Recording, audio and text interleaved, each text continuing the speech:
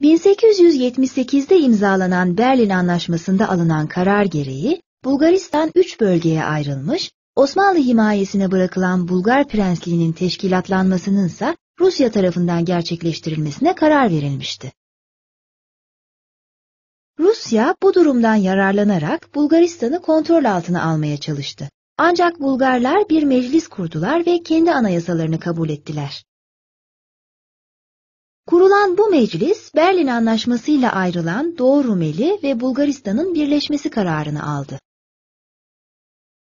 Rus kuvvetlerinin Doğu Rumeli'den çekilmesinin ardından Filibe'de isyan çıktı ve isyancılar Doğu Rumeli'nin Bulgaristan'la birleştiğini açıkladılar. Bu duruma müdahale edemeyen Osmanlı Devleti, sorunu kendi lehine çözmek istediyse de Bulgarlarla anlaşmak zorunda kaldı. Böylece Bulgaristan, Osmanlı Devleti'ne bağlı yarı bağımsız bir prenslik olarak kaldı.